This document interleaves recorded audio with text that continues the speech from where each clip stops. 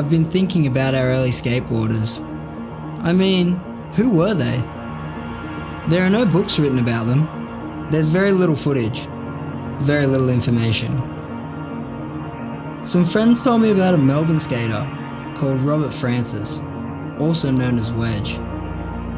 He was Australia's first ever pro skateboarder. The year was 1979.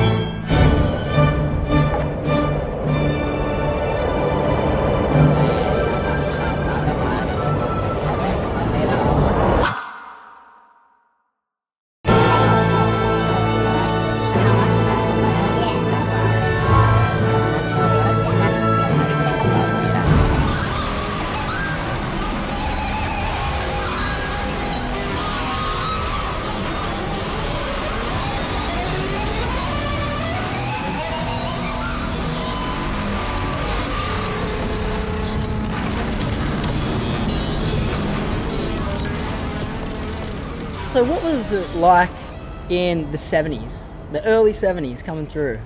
You know, if you wanted to skate, you had to make it happen. You know, we had pretty terrible equipment.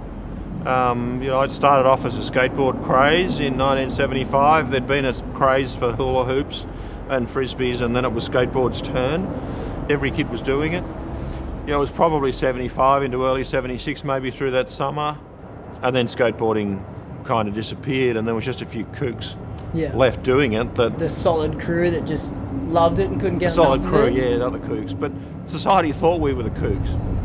You know, at the age of 16, I, I was ostracised by everybody from the grown ups to my mates. who were like, well, what are you doing that for?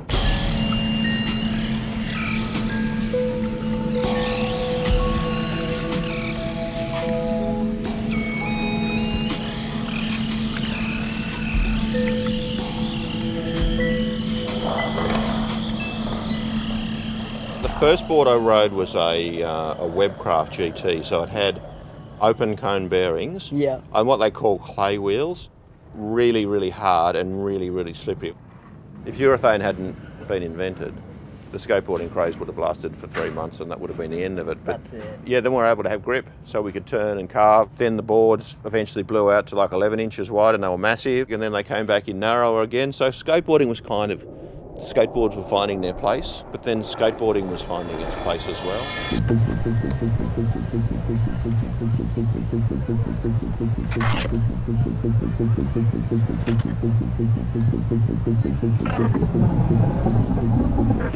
All we wanted was a skate park or a pool or something, and we spent a lot of time looking, oh, if only, you know, we could skate that if it didn't have a gutter at the bottom of it.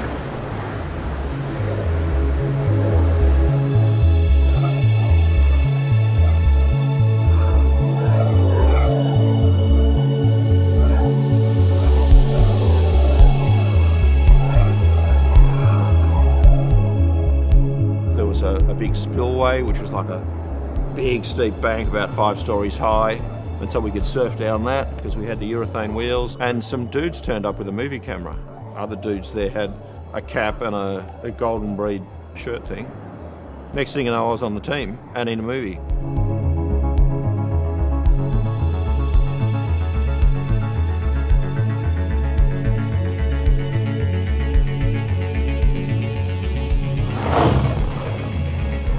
And then you were given the opportunity to go to Albany and WA. Yeah, so at the time we were skating Pymble Pool. Yep. Um, and then there was the Australian Championships in Albany. So they arranged this competition. So Johnny McGrath, who was a 14 year old at the time, brought the bus over. The fact that he was there partly validated it as the championships. Adrian Jones had have come, then it would have been the real, the, totally the real deal. So if Adrian had come, who knows what would have happened. But uh, out of 500 points, I think I beat Johnny by three points. So I think there was an element of luck. Possibly I made a mistake. But anyway, I had the official title. I heard about another veteran skater, a local guy known as Gravel Burns. His real name, Sean Mussett. I first became aware of him in, oh, I don't know, late, mid to late 70s. Yep. And he became um, a bit of a celebrity in skateboarding. And so we'd go and stay at my grandfather's, and my brother and I'd go and skate at Manly over the weekend. And, And you'd see and, Wedge and I'd see Wedge, yeah, and, and a few other guys. I was already totally passionate about skateboarding, so it was my thing, and I, I had blinkers on. You know, you, all you're thinking about is your next run Yep. in that half pipe at Manly.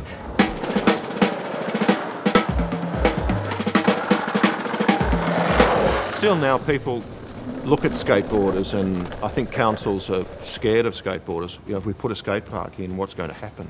The undesirables are going to come. They're going to come with their spray paint and their tattoos and, and you know, really awful stuff's going to happen to the community. And then when we arrive, they watch for a while and go, oh, they don't have uniforms, there's no rules uh, and no governing body, but there's unwritten etiquette, you know. You know, if someone gets hurt, everybody jumps in and helps. Someone lands a trick, everybody's arms go up in the air. That's right. And all that stuff they said at Little Athletics and junior football about, oh, it's not about whether you win or lose, you know, it's about having a good time. It doesn't. I don't know that it really applies to those sports. They want to win, you know. Whereas skaters, that that stuff really does apply. Yeah. I've been to competitions where we forgot to have the competition. We're just having so much fun hanging out. Just having a jam, hanging out. Yeah.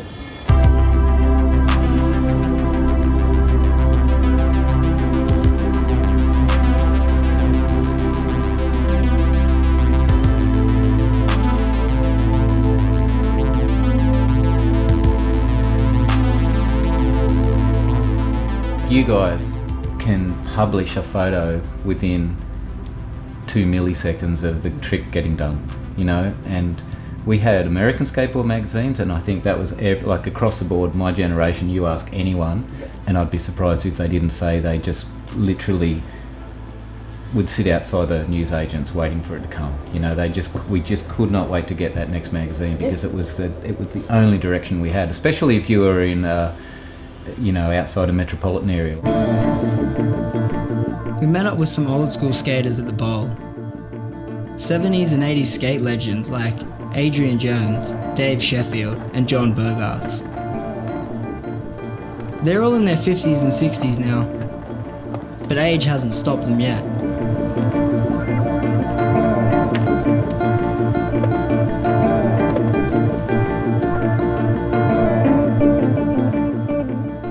All the old boys from Pymble Pool. Yeah, Adrian Jones was there. You know, he was, he was, you know, like one of the key guys at Pymble Pool. He's got more tricks in his bag now than, than he had when he was 19. He's like 58. He's, he's a freak. Nicest cat. Yeah. I migrated from Melbourne to Sydney, got in the car, drove the 600 miles. Yeah, worked my first week in the skate shop and said to the boss, you know, where to do to skate? And he said, oh, the boat ramp. So I found out where that was, got myself to the boat ramp. And I chatted to this kid called Adrian. He said, I know where there's a pool. I said, well, I've got a car, let's go. So we went to this pool and um, all we'd ever wanted was to skate a pool or skate a skate park. Yeah. So, and we'd seen the Californian pools in a, you know, skateboarder magazine. And so we've gone, right, well, here we are. We've spent all these hours drying out the pool. Let's have a go. And we couldn't do it. It was really difficult to ride. We didn't know how to ride vertical. And the bottom of that pool was cold, hard, usually a bit damp. When you hit it from, you know, eight and a half feet up, you went straight to the bottom and just. We had this thing that we'd wanted all our lives, and it was there right there in front of us, and we had to, we were just learning how to ride it and really pushing the limits, teaching ourselves how to learn new tricks. Yeah. You know, how to look at it and go, oh, that thing's impossible. And then we conquered it. So, you know, we, we, we learned how to do the impossible.